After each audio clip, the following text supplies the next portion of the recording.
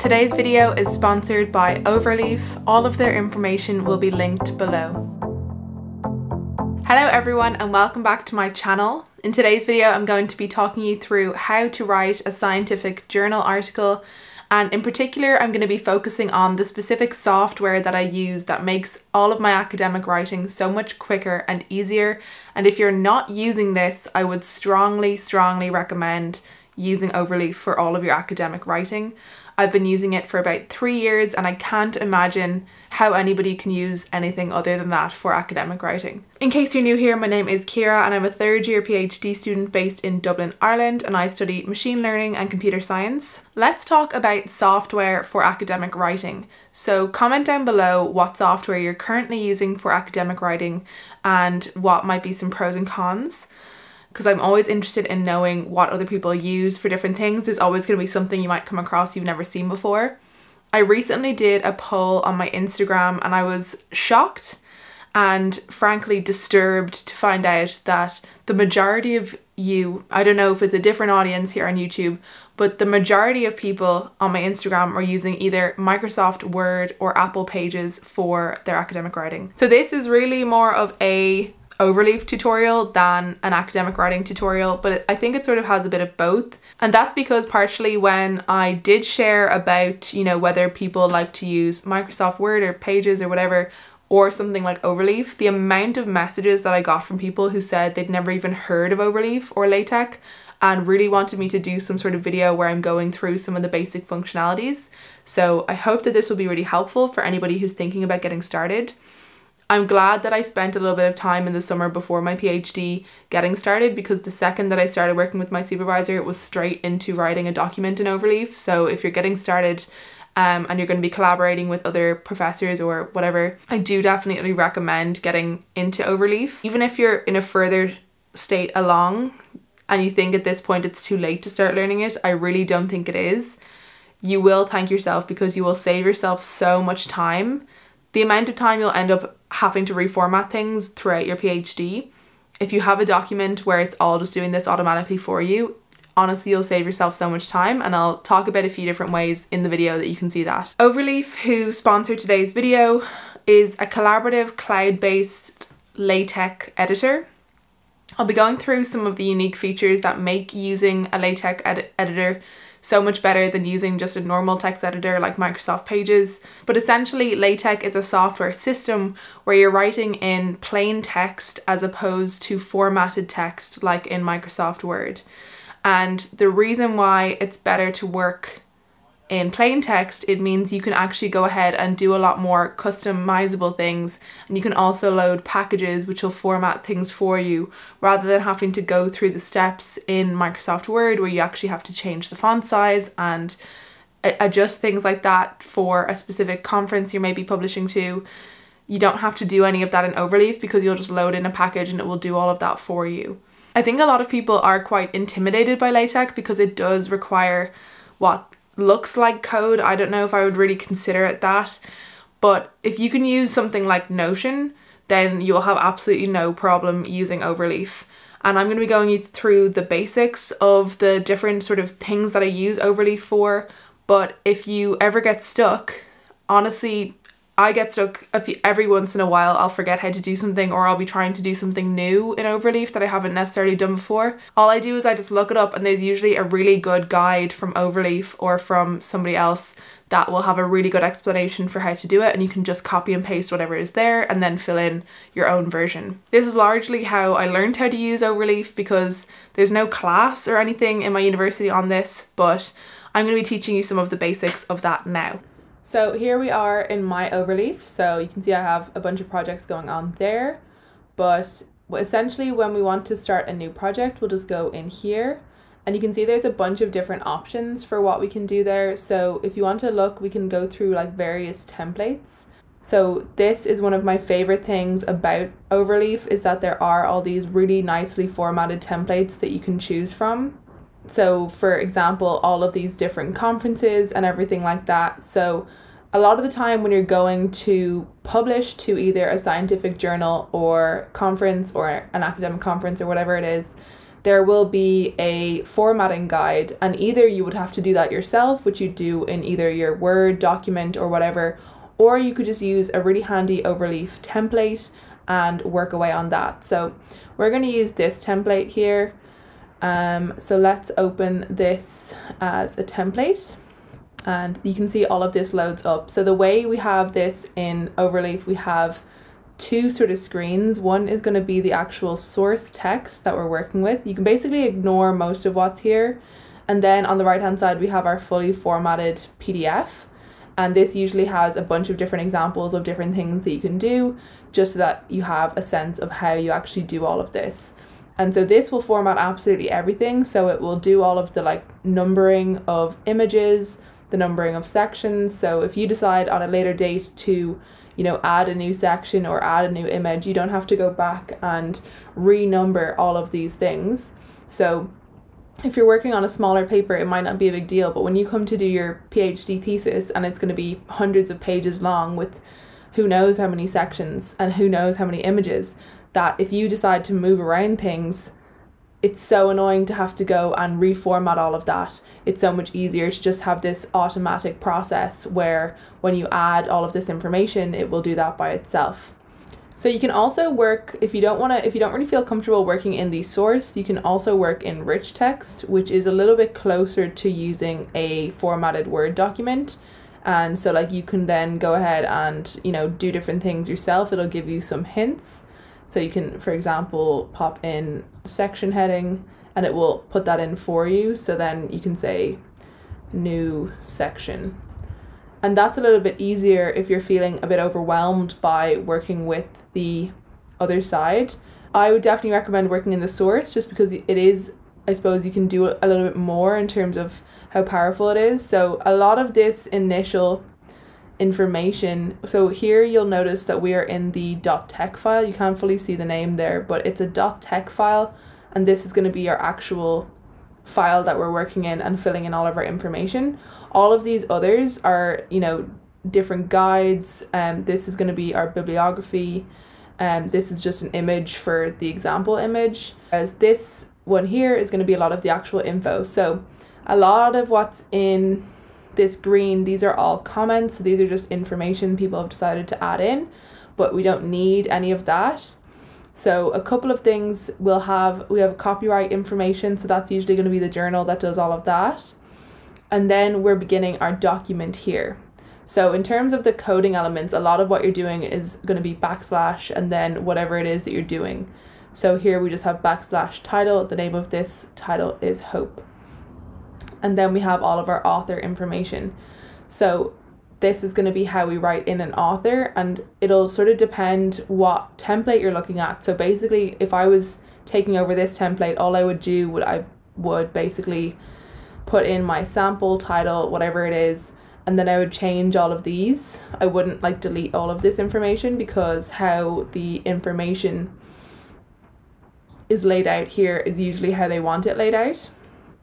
Then when we want to put in our own information, we can just recompile and then it will put in our new information. It does take a little second, but then you'll see that it's all like really well formatted. So I'm just gonna get out of here.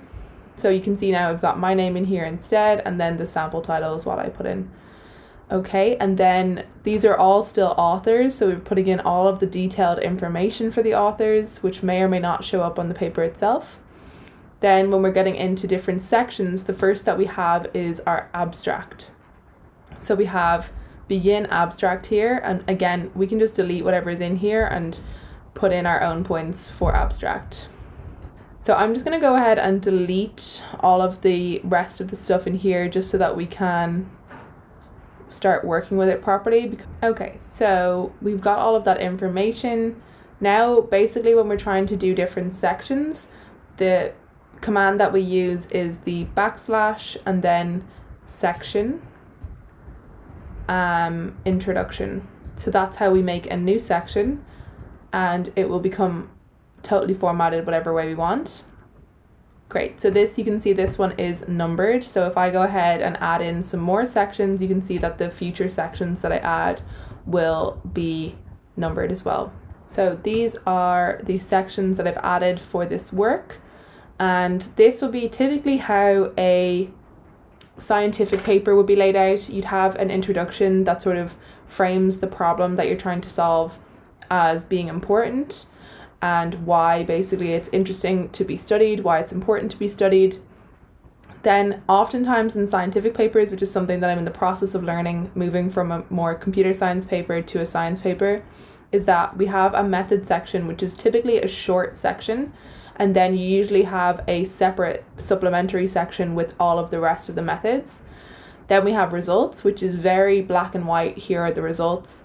And then a discussion, which allows for more interpretation of the results and often we'll be bringing in literature here to back up some of what you might be discussing in the discussion. And then lastly, we have our conclusion, which just sort of wraps it up, and usually you'll have a bit of information about future work in there. The difference I've found so far in computer science papers, I think we typically have this sort of introduction and related work section, and then a more detailed methods section within the paper of like the models and everything, and then an evaluation which does include a lot of discussion and then a conclusion. So it's just a bit different, but I think that is this, the main difference. And then let's say we want to add in some subsections then. So what we would do is we would add in just by typing in backslash subsection. So let's just say result one.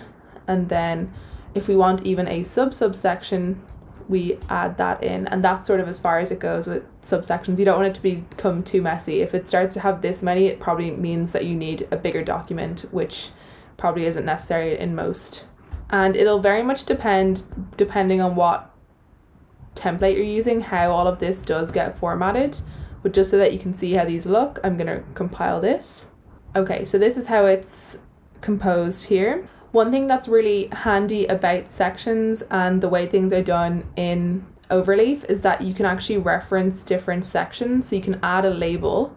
So this is what I'm doing here. I'm adding a label. So then if I'm talking in, let's say the discussion, and then I say as per section ref results, actually what's usually handy in the way that I would do this is I would also just add a little thing that lets me know it's a section and not a graph.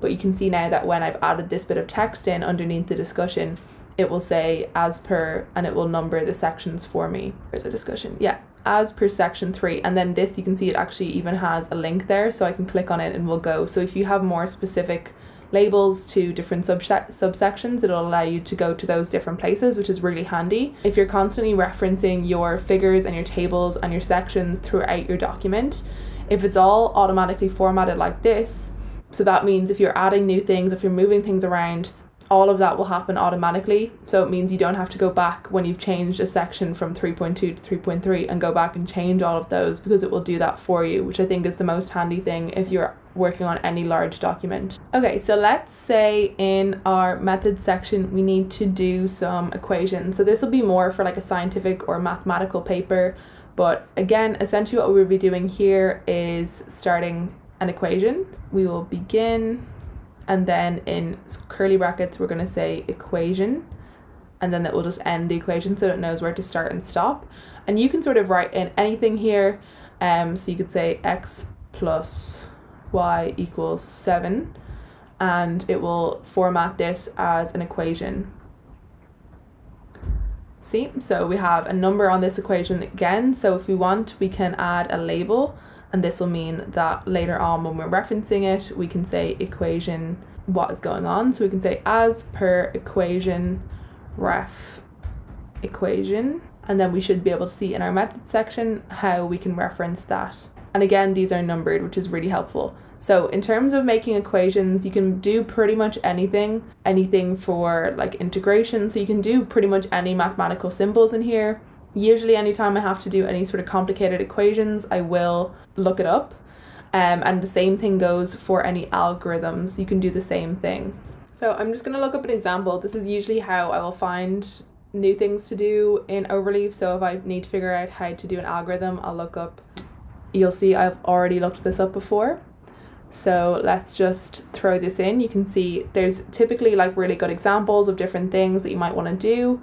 And this one's actually nicer, so let's include that. And again, you might need to include these packages. I'm guessing these are already included just because it is a an ACM example.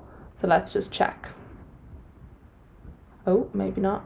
So basically, I just want to put this outside of the begin document. So wherever we have the document. So now when we recompile this, this is all in there. So that just shows how that works. And again, we can add labels to all of these things. And that means that they will be easier to reference later on. Same thing when it comes to doing any tables. So we might want to have some tables in our results section. So again, we can just look up, we have a whole section here on how to do that. So you can see all different types of tables, ones that have open, ones that are lined, ones that have things like this. So let's see what type do we want to do. This is an interesting type because it has sort of a multi-line element. Let's just do this really simple looking one here. So this is going to use a package multi-row, which you probably have to add in when you are doing any papers for a specific conference or journal, you usually don't want to change whatever their formatting guide is. So if they haven't used certain um, packages, then you may not want to. Um, some of them will be not liking that, but some of them won't mind. But it's just good to make to maybe check that in advance. So let's go ahead and add this table in, and then we'll recompile. And again, everything that I'm showing, we will add labels to if we're referencing them. And then when we're trying to change the data, basically we'll just change these things in here and this will change whatever's in here. So if we want to change this to 99, that comes through. So it's easy enough to do things like that. The next thing that I want to show is how to create some sort of figure. So, so we will just use begin figure and then it will sort of automatically do some stuff for us already. So centering will just make sure that it's in the middle of the document. Um, a label it will add so we I would usually have that. So you can see it's sort of a default to put in the fig my label and then include graphics. So this is going to be looking for one of our figures from somewhere in here. So usually what I would do is I would create a folder called figs and I'll put any figures for the paper in here so we can do upload and what you can do is you can drag any pictures that you might have and then you can see that we have in our results, we have as per, where did we write that in? Oh yeah, as depicted in figure one. And again, these are all labeled and you can see our captions come in there as well. So those are some of the basics in terms of the sort of things that you can include in the document and how you can then reference those. The main thing that I think is so exciting about it is like the automatic formatting in terms of the document. Like we don't have to put anything in place to make sure that these are the right size. It will just sort of come out that way. And in terms of the actual labeling of things as well, it's just so convenient. So, the next important thing, I suppose, about this is that when it comes to doing our references at the end of our document, when we've been referencing, you know, and citing different materials, formatting the bibliography or the references section is really really handy in Overleaf. Um, so I believe this will do this already for us. So you can see that we have over here the sample base.bib. So we have a bunch of example bib entries. These are bibliography entries. You can see that this is an article. This is the key name. So it's by Patricia S. Abril and Robert Plant, the, pa- the patent holders dilemma, buy, sell, or troll from communications of the ACM and it just has all of the information. So when you're going to look up a paper, so let's just say if we go on to the reason I use Google Scholar for this is it just always has the bib file entry. So let's look up my Ciara Feely. So let's look up me. So these are all my papers here and you can see to cite the paper, we've got all of these options. So you can always copy and paste these into your Word document. However, it's much better to have the bib entry, which is like this, that you can then put into a rolling bib file. So I, for this, obviously I'm just using the example, but I will typically have a rolling bib file that I use for all of my papers and my thesis, which every time I have a new paper that comes out, either one of mine or one that I added to my literature review, I will just add that to the rolling bib file and this will always contain everything that I need. So if I go back to our paper then and I want to reference one of these, so let's say we're just going to do this the results section. For example, and then what we're going to do here is a backslash cite and then whatever our reference is. So if this one does have mine, yep. Okay, I realized I deleted the bibliography, which is not ideal. So I am going to put that back in and that should hopefully. So this is telling us to use the ACM reference format for our bibliography. And you can see now that when I'm citing all of these things, so if I want to cite myself as well, it should come up and then we will have all of these showing up in our references. And again, it'll organize the references depending on whatever reference style the conference wants. Sometimes that's alphabetical, sometimes it's by order of appearance. You never know. But basically, as you continue to cite different things throughout the paper, it will all just show up in your references. Now, I know that there's like plugins you can use for Word and everything like that, but to me, nothing is handier than just having one big bibliography file and then just being able to upload that into any paper and then just having access to all of your references really easily. So once basically the most important thing is going to be having them labeled properly. So I wouldn't say that this is a good label. What I would usually have would be Feely 2020 and then a keyword. So I would have said something like um race time prediction, something like that, because I know what that paper would mean then. So that means it's a lot quicker when loading up the papers. So it also makes it really easy to collaborate with authors. So first of all, you can share with a bunch of people. So you can type in their emails and then they will be shared. You can either share as a read only or a edit. And you can also turn on different things. So you can basically, when you're doing any edits, one thing that you can do is track changes. So that means that when you make a change, they'll all come in here. So if there's one main person working on the paper and one person who would just be doing small changes, then and you want to be the one to approve them, you can have that come through. So this is where the sort of review comes through, this A-B review. So you can have, no, I'm not going to accept that change, or yes, I am going to accept that change. And it just makes collaboration really easy. Um, I've always found collaborating on documents kind of difficult, but I think with Overleaf, it actually makes it a lot easier. And you can see where other people are in the document. I think Google Documents is okay for that as well, but you know, it doesn't have the rest of the functionality that I think Overleaf does.